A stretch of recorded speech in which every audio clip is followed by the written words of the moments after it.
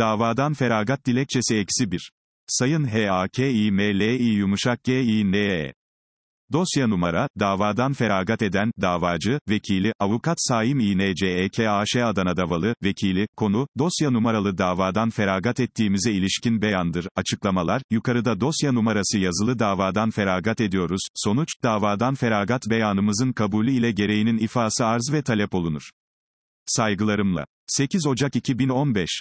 Davacı vekili. Avukat davadan feragat dilekçesi eksi 2. Adana 10. İcra Hukuk Mahkemesi'ne. Dosya numara. Davacı. Vekili. Davalı. Vekili. Konusu, davadan feragat talebimizden ibarettir.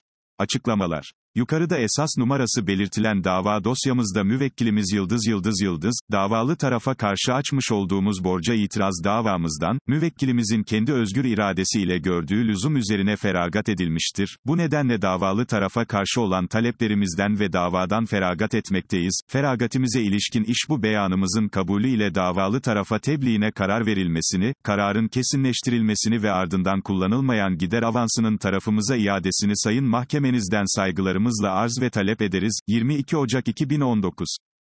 Davacı Vekili. Avukat. Davadan feragat dilekçesi eksi 3. X 2. Fikri ve Sınai Haklar Hukuk Mahkemesi'ne.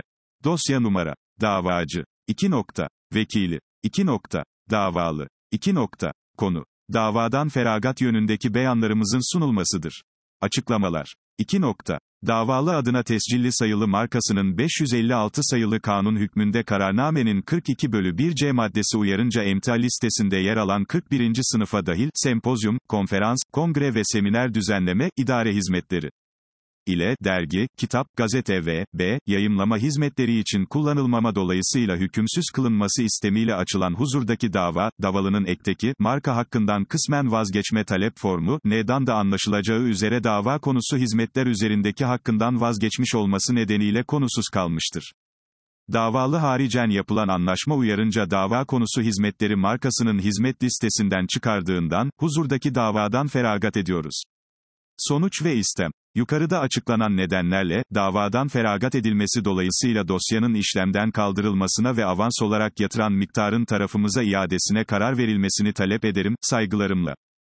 Davacı Vekili. Avukat Saim İ.N.C.E.K.A.Ş. Adana Avukatlık ve Hukuk Ofisi.